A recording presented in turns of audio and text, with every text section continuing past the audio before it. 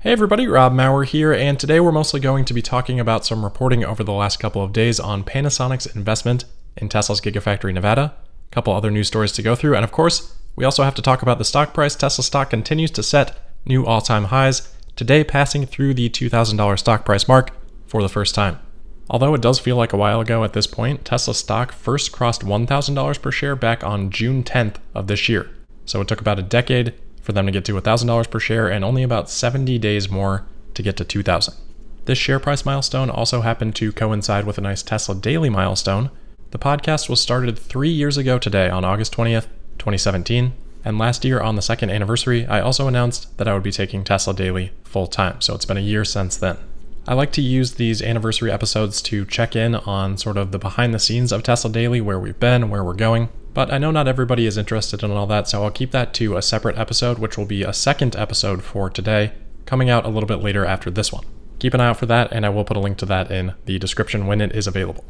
All right, so over the last couple of days, we've had some news on Panasonic's investment in Gigafactory Nevada. Yesterday, the Nikkei Asian Review published an article where they said, quote, Panasonic will boost production capacity of batteries for Tesla next year in an investment expected to exceed $100 million, Nikkei learned on Wednesday. The investment will be made in Gigafactory 1, a battery plant in the US state of Nevada with 13 production lines. Panasonic will add another line, increasing capacity by 10% to 39 gigawatt hours per year. End quote.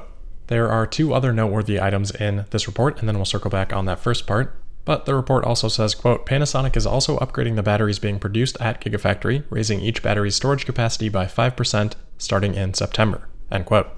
This piece got a fair amount of attention. I did want to point out that this had already been previously reported by Reuters at the end of July. We've talked about this. And Nikkei Asian Review here doesn't cite their source, so this isn't necessarily confirmation of the Reuters report from earlier. They could just be using that report in their own article here. So I won't spend too much time on that. Obviously, any energy density improvements are exciting. And then the other noteworthy point in this article is quote, with annual production capacity set to exceed 1 million vehicles next year, the capacity for battery production is also likely to increase, Panasonic officials say. Unfortunately, the sentence structure here lacks a little bit of clarity about exactly what Panasonic officials say, whether that refers to the capacity for battery production also being likely to increase, or whether it refers to the annual vehicle production capacity set to exceed 1 million vehicles next year. If Panasonic's comments were about the battery production capacity increasing, the 1 million vehicle capacity may just be speculation from the Nikkei Asian Review. In addition to pointing that out, I think it's also worth remembering that production capacity doesn't actually equal vehicles produced. Technically, this is just saying that at some point next year, Tesla would have the capacity, production capacity installed to produce at that rate. So I saw some excitement about that particular portion of this article, but I don't think that should come off as too surprising considering Tesla's current stated production capacity is 690,000 vehicles. They say that will extend to 790,000 before the end of the year and that is before accounting for any production capacity for Model Y from Giga Shanghai. Adding that alone, which we have already talked about the timeline for that likely surprising people, should take Tesla above a million capacity next year. Then you throw in capacity from Giga Berlin next year and likely some capacity from Giga Texas next year as well. Really, Tesla should be closing in on a million and a half in capacity towards the end of 2021. I think it's really easy to forget just how much capacity Tesla has right now because of what we saw in the first half of 2020, both quarters being impacted by the COVID situation. So I think people have become accustomed to these 80 to 100,000 quarterly delivery numbers and production numbers from Tesla. But that was pre ramp up of Gigafactory Shanghai and essentially with 30% of the first half being shut down. I think to some extent, COVID has provided a bit of a sheath to Tesla's underlying capacity, and it gets thought of as that company that, okay, right now per quarter makes about 100,000 vehicles, but really, their production capacity right now, today, is closer to 200,000 than it is to 100,000. So we're sitting really on a doubling already before even accounting for that additional capacity from those other factories that I mentioned.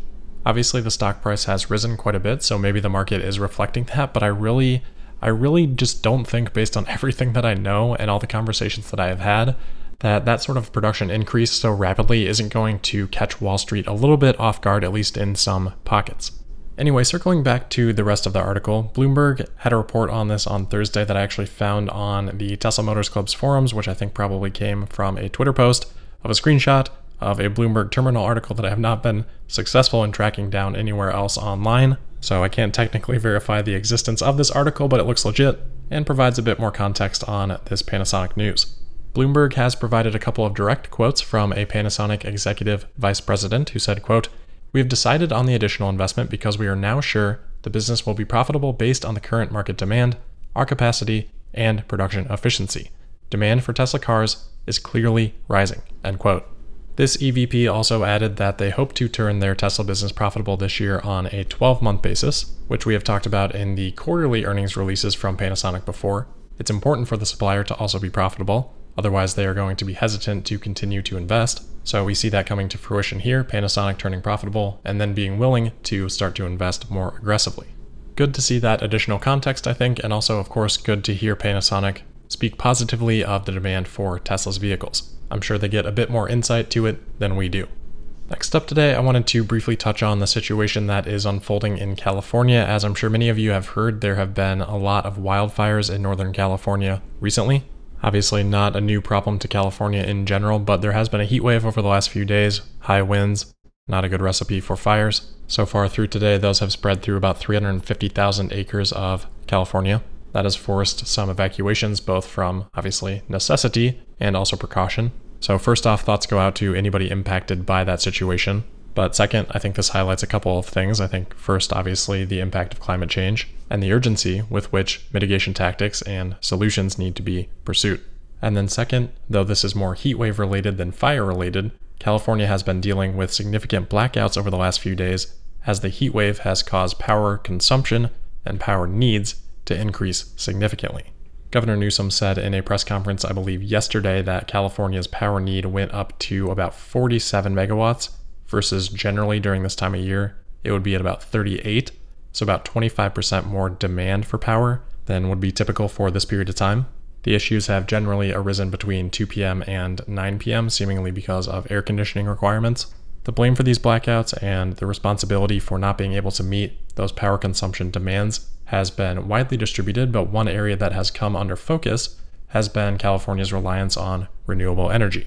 Renewables like wind and solar amount for about 36% of California's energy generation.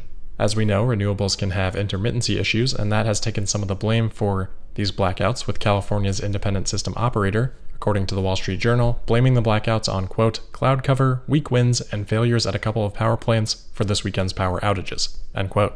While this could be taken as an argument against renewables in general, I think it emphasizes the importance of both distributed generation through solar power. The more distributed it is, the less you have to be reliant on one place getting good sunlight.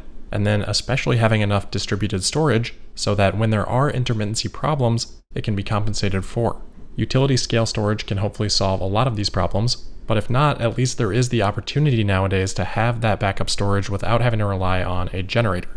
The other exciting part about residential storage, obviously, is that it can lead to the use of a virtual power plant, which I know Tesla is testing right now in Australia with, I believe, pretty good results so far. But that creates opportunity for you to not only back up your own home, but your neighbor's home or, you know, whoever across the way needs your energy. And that can all be handled instantaneously with software.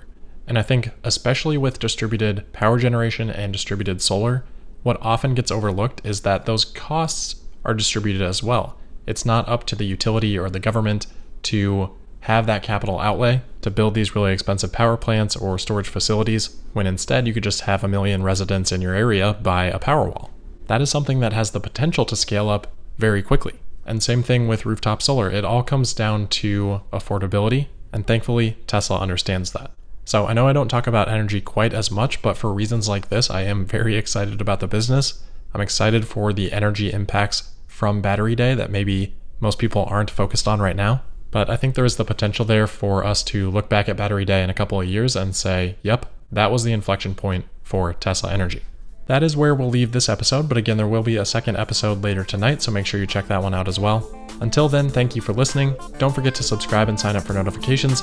Make sure you're following me on Twitter at Tesla Podcast, and I'll see you later on for that next episode. Thank you.